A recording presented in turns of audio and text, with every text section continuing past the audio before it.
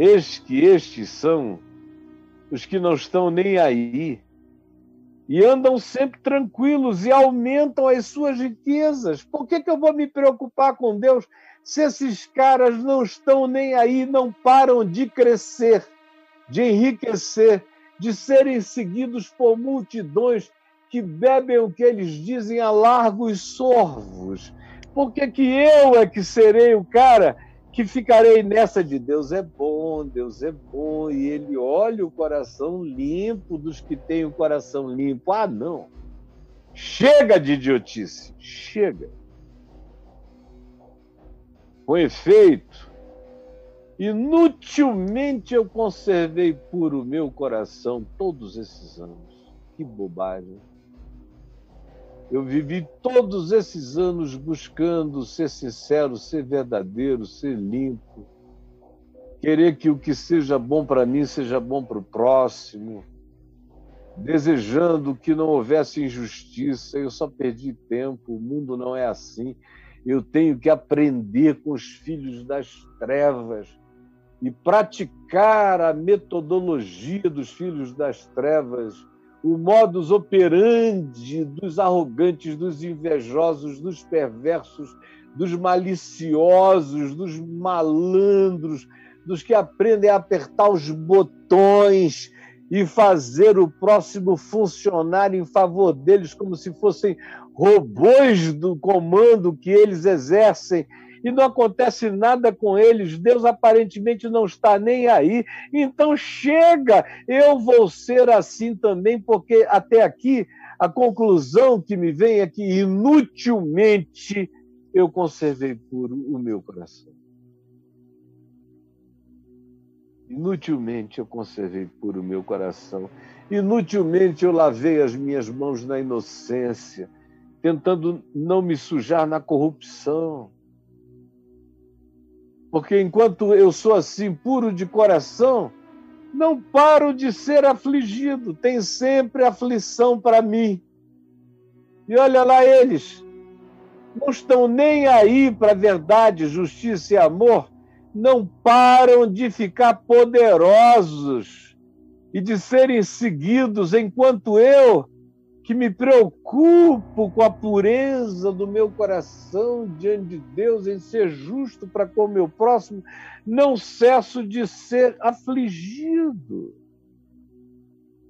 Parece que a cada manhã eu sou castigado, eu acordo já com contas a pagar, já acordo na correria. Meu Deus, por que, que eu decidi viver uma vida pura e limpa?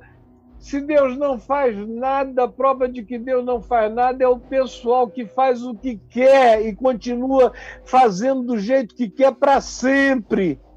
E nada de ruim acontece a eles, enquanto eu vivo aqui na minha modéstia afligida todo dia. Que coisa horrorosa. Como eu fui um otário em nome de Deus todo esse tempo. Foi tão inútil.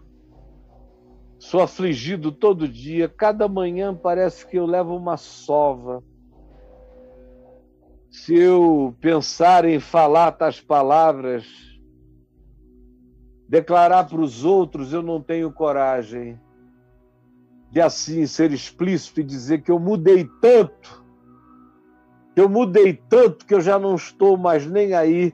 Dizer assim para os meus irmãos, para as minhas irmãs de fé, eu não tenho coragem, mas no meu coração eu já não estou mais nem aí. Eu não tenho coragem de falar isso para aqueles com quem eu orei durante anos e caminhei na fé com pureza, estimulando a pureza dele, ele a minha. Para essas pessoas eu finjo que nada mudou. Mas dentro de mim eu já não sou mais o mesmo faz tempo. E eu estou estudando todo dia, fazendo a faculdade do treino de como transformar a inveja em poder de prosperidade, arrogância e ganância em vitória, em competitividade inalcançavelmente vitoriosa. É isso que eu quero para mim.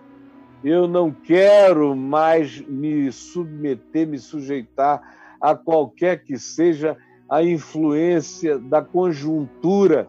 Eu quero fazer parte daqueles para quem não existe conjuntura, não existe nada que os alcance.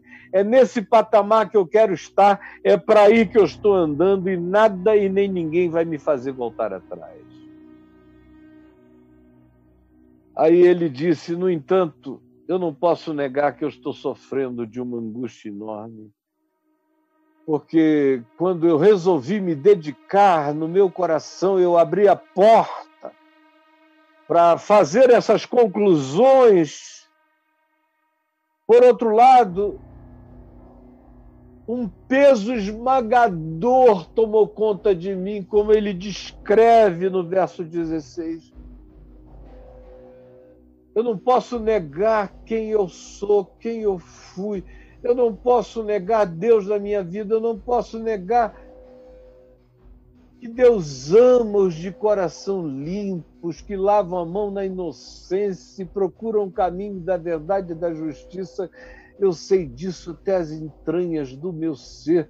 Eu estou fazendo um esforço enorme para vencer isso, para deixar para trás, para esquecer mas parece que esse temor do Senhor em mim até aqui tem tido uma força extraordinária, porque mesmo eu no secreto me entregando àquilo que eu sei que não é caminho de Deus, eu não consigo, todavia, me ver livre da perturbação da verdade dentro de mim.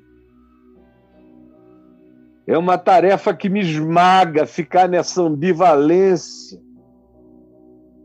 até nessa angústia que eu cheguei ao papo de graça. Foi nessa angústia que eu cheguei ao papo de graça. Eu vou repetir para você, foi nessa angústia que você chegou hoje ao papo de graça. Ele diz assim: Até que eu entrei no santuário de Deus. Você entrou no santuário de Deus quando entrou hoje aqui. Isso é um santuário de Deus. É o portão dos invisíveis, pelo qual passam milhares e milhões e milhões e milhões. E você hoje entrou aqui nessa catedral invisível do Evangelho, nesse templo dos pensamentos de Jesus. Você entrou nesse papo de graça, feito de santidade ao nome de Deus, aonde se crê que com efeito Deus é bom para com os de coração limpo, aonde se crê que ninguém guarda puro o coração inutilmente, aonde se crê que é bom aguardar o jugo na mocidade e onde se crê que bem-aventurados são os limpos de coração, porque eles verão a Deus. Você entrou aqui no Papo de Graça, nessa catedral do Evangelho e atinou com o fim deles.